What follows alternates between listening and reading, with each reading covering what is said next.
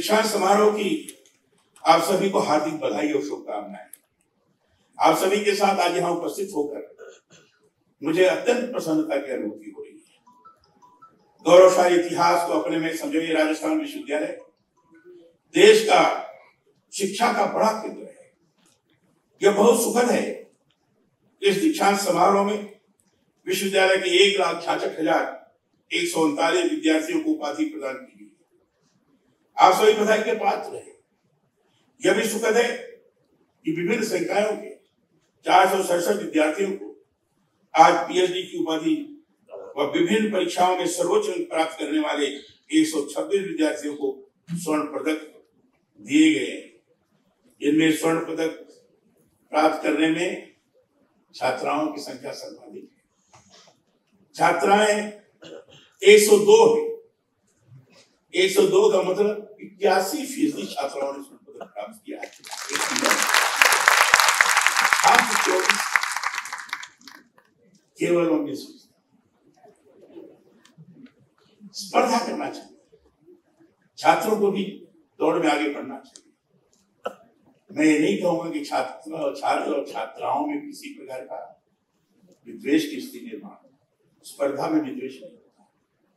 स्पर्धा में आगे बढ़ने की आकांक्षा और उस स्पर्धा में छात्राएँ आगे आ रही हैं।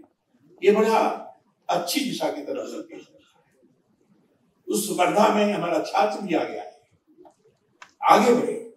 और छात्र और छात्राएँ अगर अपनी प्रतिभा का समुचित तौर पर सदुपयोग करते हुए ज्ञानार्जन कर आगे बढ़ेंगे तो भारत को विकसित भारत बनाने में और भारत को विश्व गुरु के सिंहासन पर प्रतिष्ठित करने में कोई रोक नहीं सकता है।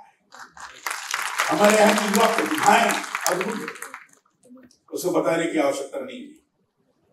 छात्राओं की जो उपलब्धि है, वह बहुत महत्वपूर्ण है। इसे पता चलता है कि यदि अवसर मिलते हैं तो छात्राएँ तेज़ी से आगे बढ़ती हैं। मैं स्वर्ण पदक प्राप्त करने वाली सभी बेटियों को आशीष देता हूँ और उनके उज्जवल भविष्य की कामना करता हूँ।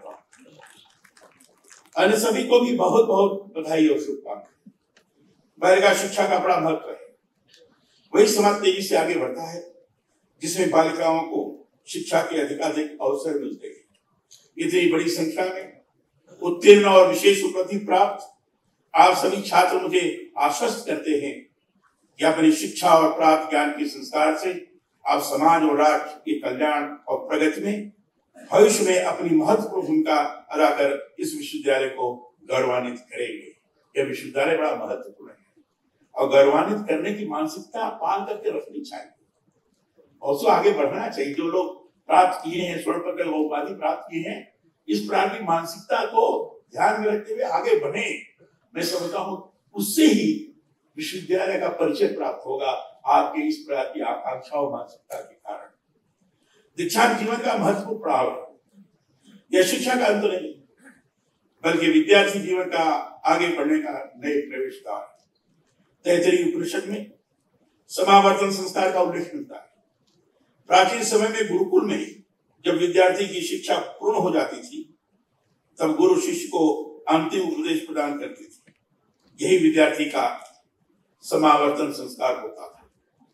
दीक्षांत उसी संस्कार का आधुनिक रूप है।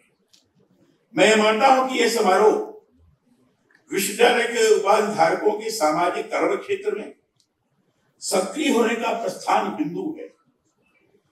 यह वह घड़ी है जब आप अपने अर्जित ज्ञान का उपयोग राष्ट्र और समाज के उत्थान के लिए करने के लिए तैयार हुए। राजस्थान विश्वविद्यालय प्रदेश का सबसे पुराना और शैक्षणिक दृष्टि से देश भर में बेहद महत्वपूर्ण स्थान रखने वाला विश्वविद्यालय है।